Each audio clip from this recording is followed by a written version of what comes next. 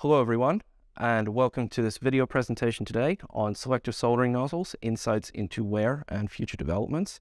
I am Dr. Sam McMaster from Pillarhouse International, and I'm going to be talking about the technical work that we've done to develop our new innovative selective soldering nozzles. This work was done in collaboration with Coventry University, and the slides you're going to see here today were originally presented at the APEX 2023 Technical Conference, and you will see a modified version of those slides to make them more optimal for this video presentation. I'm going to talk briefly through the overview. We're going to talk about the current technology that is used for selective soldering nozzles, talk about the wear and wettability that uh, is key to selective soldering operation, talk through the tests and methodologies that we've developed for measuring selective solder wear, and look at the results that we've gained from our current nozzles as well as new materials. And then finally, talk about what this means from a technical point of view and also from a commercial point of view. So what you'll see here is a photograph of a selective soldering nozzle with its inertial shroud at the bottom. So this is used to keep an oxide layer from forming on the outside of the nozzle. And what you'll see is a nice shiny tin layer this is the, from the solder that has adhered to the nozzle. It's still in liquid forms. This photograph was taken quite soon after the solder flow was stopped. Around the circumference of the nozzle, we require the solder to wet all around this so that we get a nice radial wave. And this is what gives us control during the selective soldering process. So let's review some terminology so that we're all thinking about the same things when I talk through some of the technical terms that I'm going to discuss later in this presentation. In terms of wettability, we're talking about the ability of a liquid to spread out on a solid surface. So there are two things that underpins this. The surface tension of the liquid, is the force that would normally pull a liquid droplet into a sphere, but this would then be the force that would resist it spreading out when it's on a solid surface. And that solid surface has what's called a defined surface free energy. So this is the result of the various different bonds that are on the top of a surface. And in terms of wettability, we're analyzing the interaction of that surface tension and that surface free energy. And that will define how much a liquid droplet will spread out on a surface. We have some diagrams here showing different contact angles, which is the metric that we can use to determine uh, how well a surface wets or how well a liquid wets to a surface. So we have our very large contact angle, and this shows a very poor wetting scenario. And then our two low contact angles are showing when the wettability is good. The liquid droplet can spread out more on a surface, and therefore you measure a very low contact angle. And in terms of solder on a nozzle, if we had a static system, this is what we would look for. Very good wettability and a low contact angle, which we'll discuss later. Let's discuss the current nozzle technology employed by both Pillarhouse and the other companies operating in the sphere of selective soldering. Generally, a lot of these nozzles will use a ferrous-based material with different electroplated coatings on the outside. These are generally used to aid initial wettability Sometimes these are quoted as adding lifetime to the nozzle, but as we'll discuss later, the electroplated coatings are too thin to provide much of a lifetime benefit to the nozzles. So they instead just serve to aid the initial wettability, to have a tin layer on the outside of the nozzles so that when the solder meets that tin layer, it will form just one layer of tin that will then flow off the nozzle. Pillarhouse will typically use uh, an electroplated layer of approximately 20 microns of copper and 20 microns of tin. But this is for the old nozzles. The new nozzles will use a slightly different design. But wetting nozzles are not the only type of selective soldering apparatus that exists. There's also non-wetting nozzles, so when we're using a material's ability to resist a liquid spreading out on it. So instead, this would use a material like titanium to constrict a liquid to a fixed volume or a cutout of a particular shape to fit to an array of pins on a PCB. So now let's take a look at some of these selective soldering apparatus. So what you can see here is one of the wetted uh, solder nozzles. So with this, we can see that radial wave that I spoke about earlier. It has uh, wetting all around the circumference of the nozzle, giving us a nice dome shape for the solder. So this is great for control during the selective soldering process. It allows us to move in both dips, where we move up to a, an individual pin or a close array of pins, or draw step along a row of pins. If you have one of these nozzles that does not wet well, as we can see next to it, the solder will form a single stream. So in this case, the surface energy of the solid is not enough to overcome the surface tension of the solder, and so it wants to just form a single stream. And this is very poor for control. In this case, the surface tension is actually so high, you could take something like a screwdriver and actually push the stream of solder around uh, the circumference of the nozzle, which is very bad for controlled soldering. What we can also see below is one of the non-wetting apparatus. So this has a specific cutout shape, is formed of titanium, and these vats, if you will, are filled up with solder. And this will then move up to an array of pins in a single dip process. This is great if you have a very high volume of PCBs, but it's not taking advantage of the flexibility of a wetted nozzle that would generally be used in selective soldering. So now let's look at the methodologies that we've used during this project. We are now at a stage of final prototypes and almost ready to go into full production of our new nozzles, but we started quite humbly by looking at materials that were already used in the electronics industry, starting with the iron of the current nozzles, and then moving on to various other materials that you would find on printed circuit boards. We would then look for compatibility of these materials think about their wear properties and their thermal stability. We could then look at different coating methods and different uh, surface modification methods in order to modify those materials, improve their performance.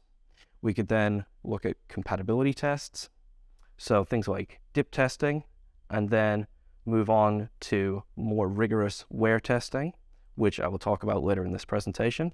Once we have wear testing, we would then test the wettability in this static form, as I mentioned earlier, and I will talk about more later. We were then able to determine several designs and have now settled on a final design.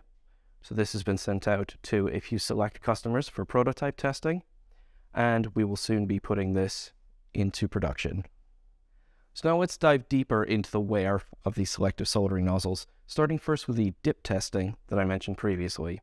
So we would use this because it would allow us to very quickly evaluate materials for their compatibility as a nozzle and to look at how well they would interface with solder in a bath. So we would get a sample of material and immerse that in solder for 10 to 15 seconds, which would allow the material to heat up and would allow the solder to begin to interface with material.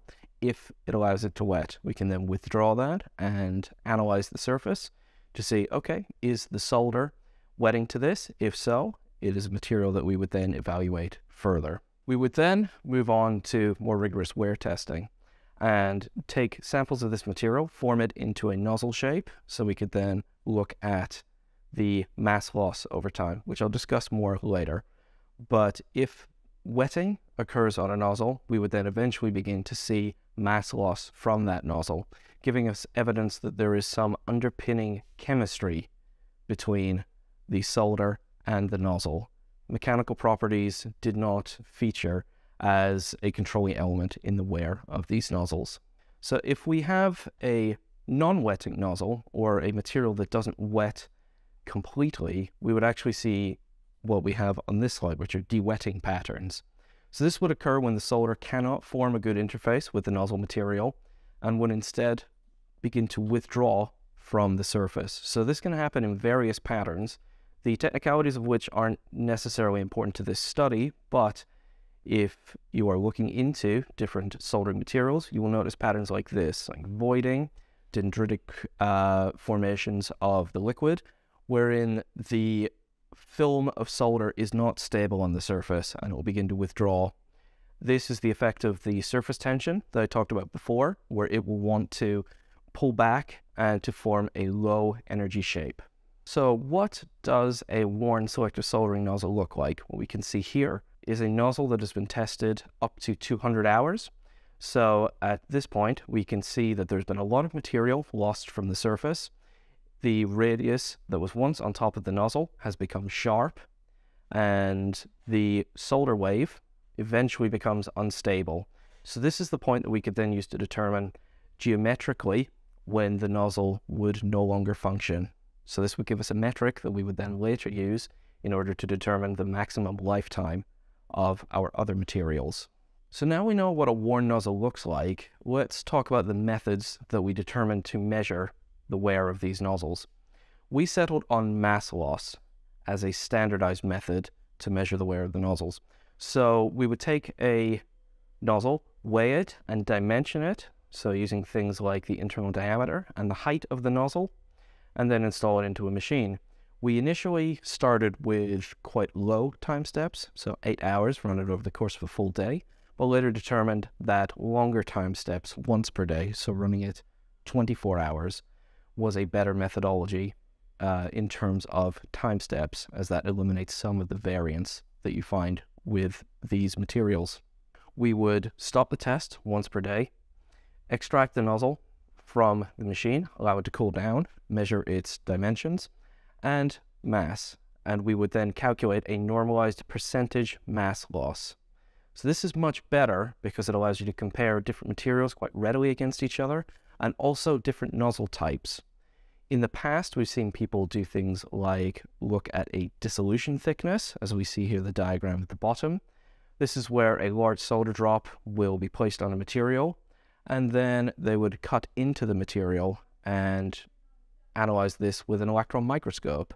This is quite difficult to achieve because it requires cross-sectioning to be done with the same process every time, and it's very poorly defined in terms of dimensions, whereas mass loss gets rid of all of that, and we instead have just one metric that we can use, and with repeat tests, we can have results with very low error. So now let's look at the link to wettability that we have with the wear of nozzles.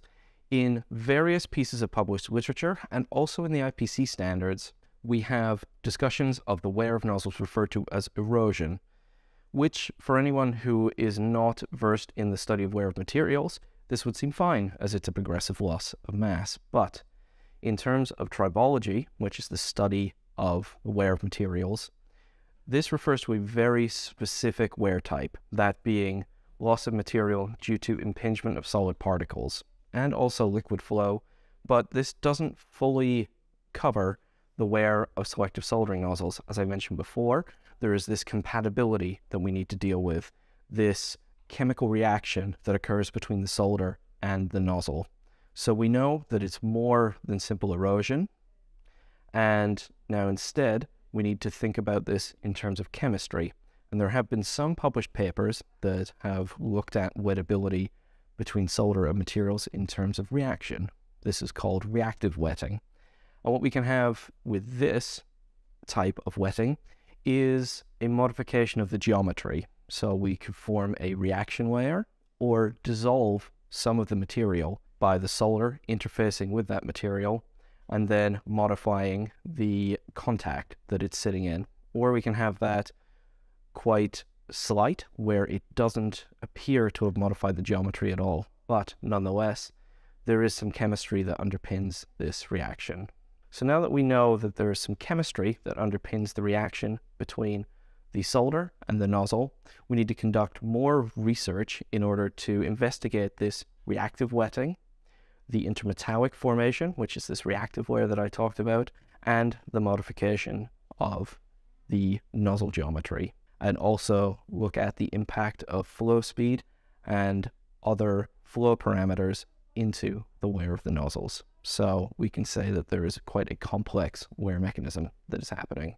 So let's look at the mass loss results for our standard nozzle now. So this is iron-based with the 20 microns each of copper and tin electroplated coatings. So as you can see really early in the test, we have a period of mass gain. This is due to the solder adhering to the nozzle. You can also see in this early part of the test is that the time steps for measurements are quite close together.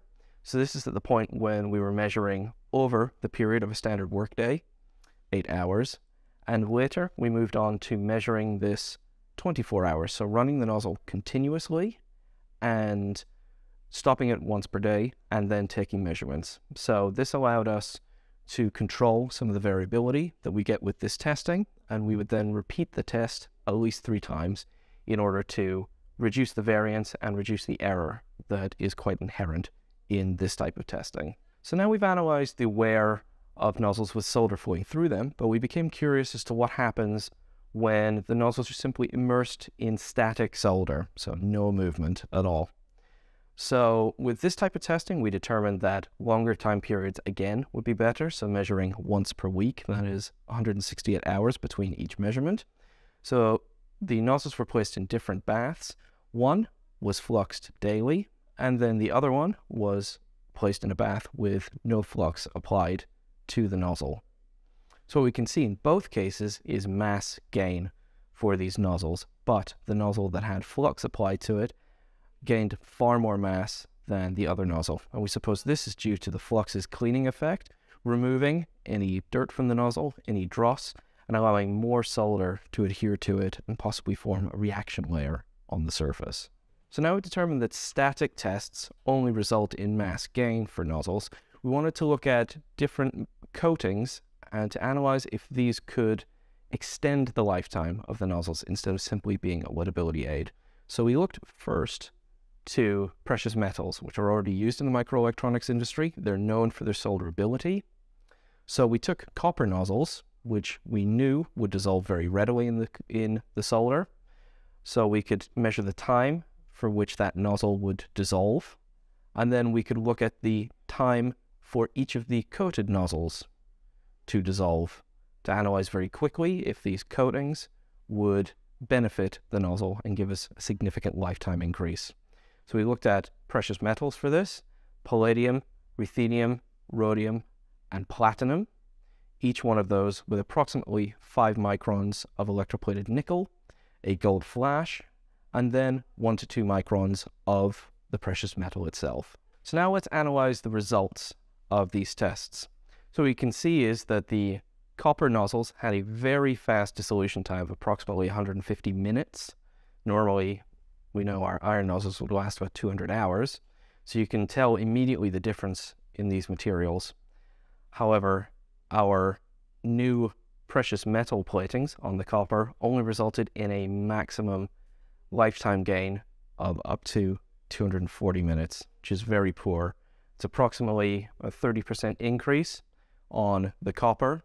So we very quickly determined that materials known for their solderability would in fact wear far too quickly and further cementing our link between the wetting and wear of the nozzles. So we knew that we would have to analyze different materials in order to find our answer. So now we can look at the lifetime results that we get from our new materials. So we looked at various iron-based alloys, steels, and different surface treatments in order to prolong the life of the nozzles. So as we can see, that horizontal line at minus 17% mass loss gives us our maximum lifetime. So that's at the point where the nozzle can no longer geometrically support the solder wave on it. So that's what we determine as our maximum lifetime. What you see are the linear fits of the materials tested. This is the result of three repeats for each material. And we can see that we were able to attain up to a 1500% increase in lifetime of the nozzle materials. This is a massive gain versus what we have with the iron nozzles, which is approximately 220 hours of total lifetime. So let's look at the exact lifetime gains that we can get with these new materials. Note that because the patent is in progress for these, we cannot reveal the materials exactly or the surface treatments that we are applying for this. What we can see for the standard nozzles is approximately 213 hours of lifetime. So this is about four to five weeks of usage with eight hour shifts, five days a week. For our 1500% improvement, we have over 3,000 hours of usage. What this would equate to is hundreds of thousands of pounds of savings because the amount of downtime that you require for regular nozzle maintenance and nozzle replacements is far lower than for the standard nozzles. So what we instead get is less money spent, effectively less money wasted due to process not being carried out during working hours.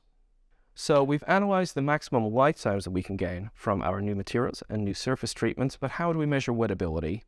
For this case, we're using a high temperature contact angle goniometer.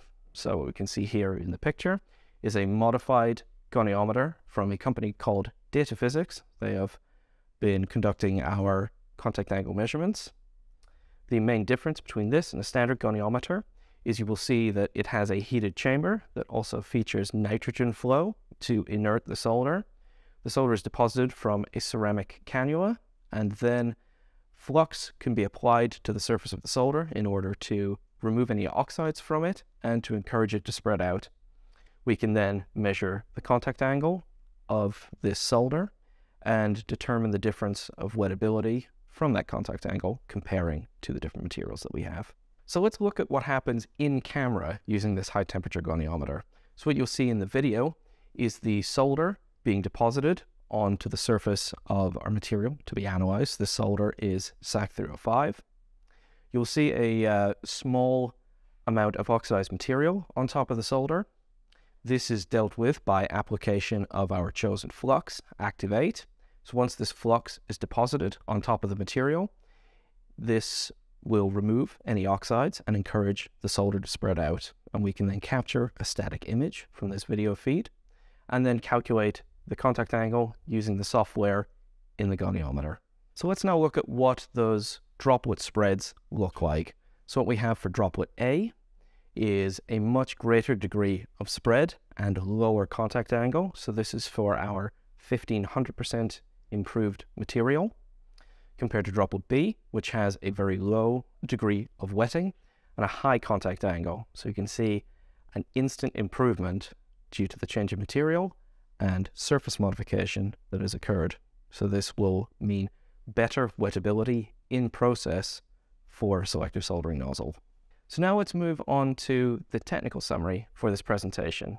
As you can see, we've been able to determine a new methodology to analyze the wear of selective soldering nozzles that mimics real life selective solder nozzle usage. We've been able to determine some links between the wettability and wear and given some initial insights into the reactions and chemistry that underpins the wetting, wear, spreading of solder, and possible formation of reaction layers and intermetallics. This is to be studied further, and there's currently a PhD project in progress looking at this. And finally, we've been able to determine new materials and new surface modifications in order to extend the lifetime and improve the wettability of these nozzles. So what does all this mean from a commercial point of view? So the improved wettability gives us multiple benefits, the first of which being once the nozzle is installed into a system and heated up appropriately, it can start instantaneously without the application of flux. So this allows you to more instantly begin your selective soldering process. And additionally, the surface modification allows for easier re-wetting of the nozzle. So you don't need to abrade the nozzle surface. You can simply apply a small amount of flux and it will regain wettability and regain control. The increase in lifetime is a massive increase in price to performance. There will be a slight increase in price for these nozzles, but you will get so much more lifetime from them compared to the standard nozzles. And finally, these nozzles are compatible with all solders and fluxes that are out there on the market. So you can simply drop these new nozzles into your system and you can proceed with your soldering process. So our new nozzle, the AP Master nozzle, is currently in production and will be available for sale in June of this year. It is only available for Pillarhouse International Selective Soldering Machines, so please consider us if you want these increases in nozzle performance. And finally, I'd like to thank Innovate UK for the funding for this knowledge transfer partnership. I'd like to thank my colleagues at Pillarhouse International and Coventry University for their help in getting the work to this stage so quickly. I'd like to thank Norbert Heil from DataPhysics for conducting the high temperature contact angle measurements and finally, Robert Cartmel from Marks and Clerk for his assistance with determining how we would patent this material and proceeding with the patent process. So thank you very much for listening.